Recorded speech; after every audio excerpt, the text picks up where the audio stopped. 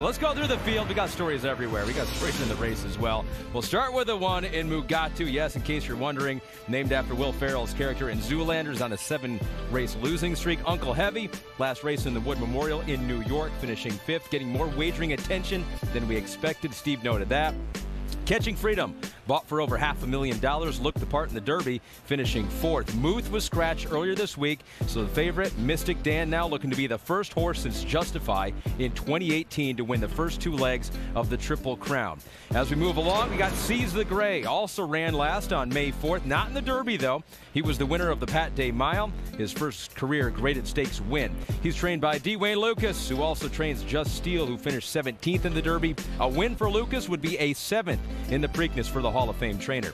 Tuscan Gold is the eight trained by Chad Brown, who's won the Preakness twice before, both with horses who missed the Derby, just like Tuscan Gold. And on the outside, you got Bob Baffert, Imagination. Baffert has won this race a record eight times, including last year with National Treasure. So once again, a look at the odds. These will change throughout the day. A little bit while before our show, Mystik Dan was a co-favorite. Now he is the favorite over Catching Freedom and Tuscan Gold, who are both at seven to two and co-second choices in this field. A lot of storylines, Jerry. Let's get through them. Let's, we, we got to start, of course, with with the Derby winner. What Mystik Dan was able to do two weeks ago in Louisville. And the question is, can he do it again here in Baltimore? Yeah, that's that's kind of always the question. Look at Mystik Dan was nothing short of perfect uh, when he won the Kentucky Derby, as was his ride by the jockey Brian Hernandez Jr. He saved every inch of ground, came through a narrow opening.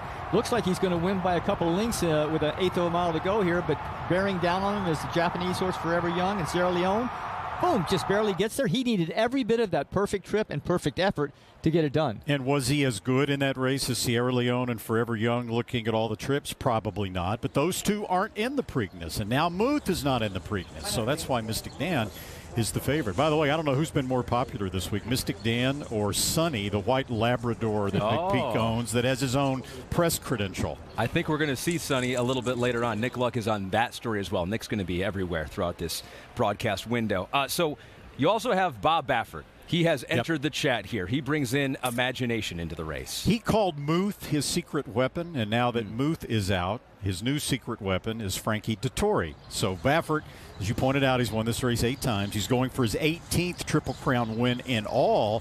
Dettori, of course, the famed jockey who is now relocated to the United States, is looking for his very first win in an American Triple Crown race. But Baffert says he can sleep well at night knowing that he's got Dettori on his side.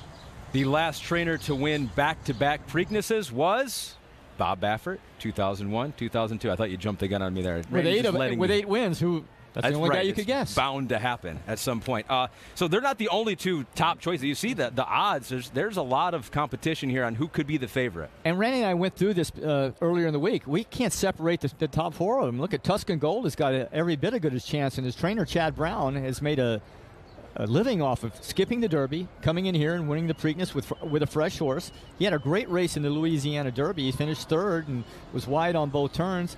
He figures to be one of the horses to win, but the odds reflected He's just very, yeah. very close in the way. Yeah, there's nothing wrong with catching Freedom, who was fourth in the Kentucky Derby, right behind that historic three-horse photo finish. He was only beaten a couple of lengths. He's going to need more pace than it looks like he might get. He had a good pace ahead of him in the Kentucky Derby, and he had a rail trip. So there are some question marks for catching freedom, but he's good.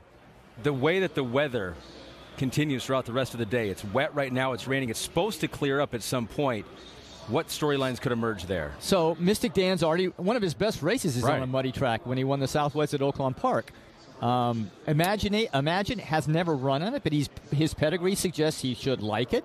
Tuscan Gold, again, never run on it, but his pedigree suggests his, his dad was a, a mud running son of a gun. So mm. I don't think it's going to be an issue. Catching Freedom also has also run well in it. It's been a good two weeks for Mystik Dan since the Kentucky Derby, right? No Sierra Leone, no Forever Young, no Muth, yeah. and now he gets rain on top of it all. And maybe a value for some bettors out there, as Matt and Steve talked about, three to one, currently the favorite of the Preakness, the Kentucky Derby winner. We